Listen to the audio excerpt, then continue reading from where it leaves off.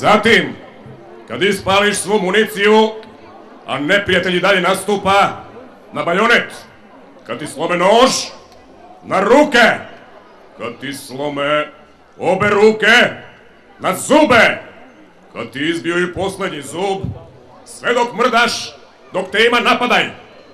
Kad te smrtno pogode, gledaj pred noge da im padneš, da te zaobilaze, preskaču i mrtav da im smetaš. Zatim, od oficira koji vikne Juriš braćo, odmah će ubiti. Viče se samo za mnom braćo! Ako podoficir viče kad je ispred stotinu vojnika, tako viče kad ostane sam i juriša.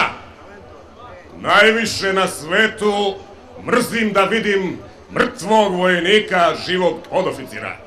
Zatim, čast mi je obavestiti vas. Bićemo na položaju koji će sačekati glavni neprijateljski udar. Do tog položaja odavde sa Padina Cera ima ravno 28 km. Šta ćemo uraditi s tih 28 km kad ja viknem za mnom, braćo? Nećemo pretrčati. U žandarmeriji se trči.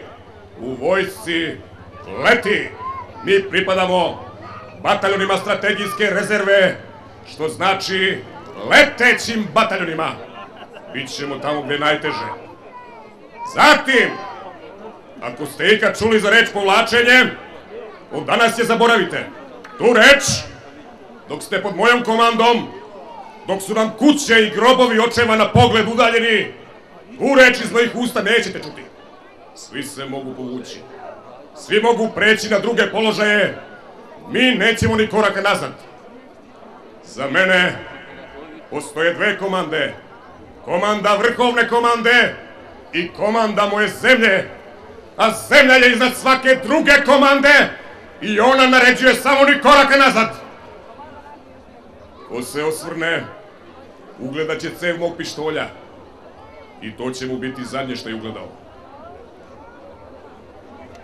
Vi ja smo, braćo, od naših kuća krenuli mrtvi. Krenuli smo mrtvi i nemamo šta da izgubimo. Ako Bog da pa pobedimo, u ovom ratu mi ćemo se roditi. U ovom ratu mi branimo otačbinu našu, zemlju otaca naših i borimo se za sinovinu, zemlju sinova naših. Između otačbine i sinovine nas nema. O našoj vojsci Austro-Ugarske novine na prvim stranama pišu da smo dronjavi, opančarski bataljoni. Ismejavaju nas, rugaju nam se jer smo vekovima u blatu do guše na njihovim graničnim prelazima kao psi čuvari, dok se Evropa gradila, igrala, pevala i ponižavala sirote i male narode, kao što je ovaj naš. Srbija danas ima 5 miliona stanovnika. Austro-Ugarska 55 miliona. Oskar von Počorek sedi u Tuzli, pije konjak i sere kako će rat trajati dve nedelje. Rešili su veli da nas pobiju i mrtve na zlatnom poslužavniku odnesu u Beč 10. avgusta na rođendan cara Franje Josifa. Glavati Josif iznad svog kabina ima sve ratne trofeje, jedino mu nedostaju glave o pančarskih bataljona. Godinama prete, godinama vrište kako Srbija mora doživeti čelično kupanje. Ja ništa poganije i smrdljivije nisam čuo pretnje da jedan narod može biti okupan čelikom. Zato i sad kažem, drugi oficiri mogu poštovati međunarodni dogovor o ratnim zarobljenicima. Ja zarobljenika neću imati. Svi moji zarobljenici bit će pobijeni. Pri pokušaju bekstva. More, ko mi na kuću i na decu krene, neće stići da dugne ruke da se preda, dobit će metak po srećala. I zato, sa ovog mesta, odakle se vidi cela otačbina, pozdravimo Srbiju sa zakletvom da ovim putem prema našoj kući i našoj deci neće proći ni jedan neprijateljski pas, ni jedna neprijateljska džukela.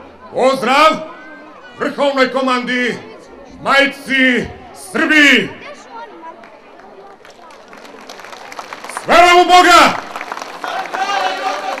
Za mnom, junaci!